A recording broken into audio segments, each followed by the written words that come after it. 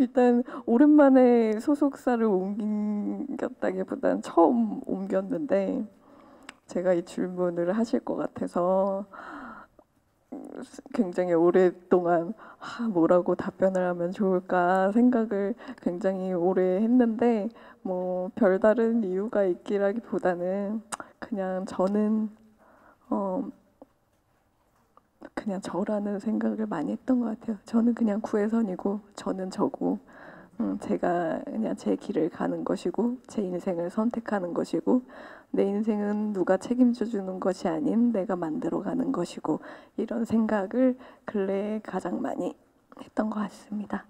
네, 저 마음은 항상 어떤 걸 하고 싶다 이런 생각을 하는데 일이 그렇게 마음 같은 건들 아니라는 생각을 해서 마음은 음, 연기 좀 더 집중하고 싶다 생각했을 때 늘 연기를 할 수 있는 것이 아니고 또 어, 그림을 그려야겠다 마음 먹을 때 그림을 그렸던 건 또 아니었기 때문에 음, 지금 마음으로는 음, 배우 일에 좀 더 집중하고 싶은 마음은 있어요. 근데 보신 분들이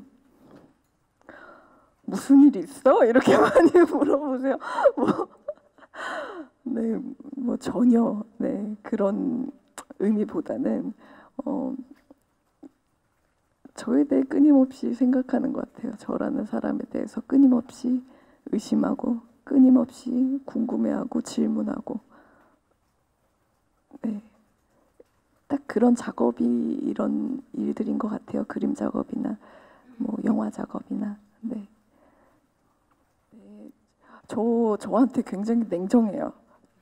저 스스로에게 제가 한번 저랑 작업을 한번 해봤거든요. 다우더라는 영화를 작업했을 때 어, 그렇게 어려 어려울 수가 없었어요. 그러니까 사실 음, 저 제가 연기를 할 때는 어, 모르던 것들을 제가 감독 일을 하고 연기하는 저를 통해서 굉장히 저 스스로 좀 많이 냉정해졌고 어,